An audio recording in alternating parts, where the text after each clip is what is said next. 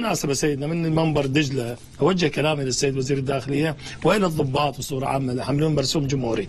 أنت كضابط تفرغ ويا محافظ ما عند المحافظ مرافق أو ويا نائب رائد أو مقدم توقف. أنت كضابط توقف ورا المحافظ مع احترام إلى المحافظ أو مع نائب.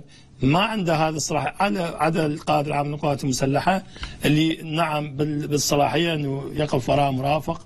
كرتبة عالية. ولكن أو رئيس جمهورية فخامة رئيس جمهورية. ولكن محافظ نائب أنت كضابط شايل مرسوم تمشي وراه خلفه تفتح له الباب هذا يخل بال يضعف المؤسسة الأمنية ويضعف هيبتها ولذلك أنا أحد قائد الشرطة قلت له هذا الضابط شلون مفرغ مع فلان نائب في محافظة بابل؟ بابل بالذات. قال هذا كتاب رسمي من الداخلية. طبعا اليوم وزير الداخلية سمعنا ذي النقاط راح باكر كلنا عرضنا عليه. فأكو تدخلات.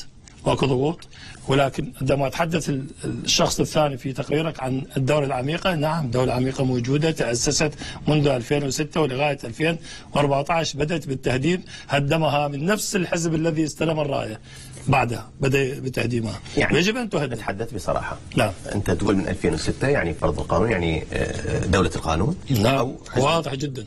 حزب الدعوة؟ واضح. وبعدها 2014 استلم السيد العبادي بدأ بسبب الاختلاف بيناتهم يعني بين بين السيد بين المالكي والسيد بين قيادات ال- الحزب اللي استلموا الدولة.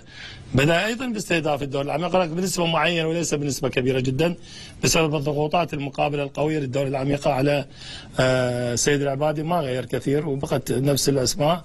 ولكن أنا أقول بالوقت الحاضر كرئيس لجنة أمن الدفاع ومعرفتي التفصيلية والدقيقة بتفاصيل الداخليه والدفاع وحتى باقي الامنيه إنه في الوقت الحاضر هذه السنتين وخاصة في عهد الرجل السيد الكاظمي لا أكو ضغوطات وخفت جدا والدليل إنه السيد القائد العام للقوات المسلحة بنفسه حضر ممارسة يوم يوم أمس يوم أمس. وس وستكون هناك ممارستين للقوات الأمنية ووجه توجيهات هو صدر كتاب رسمي بتوجيهات رسمية بسر شخصي إلى القوات الأمنية إنه عدم يعني ال- ال- الترويج للانتخابات ما اخلي صورة بسيطرة أو بسيارة عسكرية بالتالي هذا هذا أو وفق. وفق معطيات نعم. ومعلومات إنه هذا الشيء أو موجود حتى عدم السماح للقادة المسير مع المرشحين وحضور الندوات يعني وجه توجيهات كبيرة نعم هو يحذر من عندها لأن هي أصلا كانت موجودة.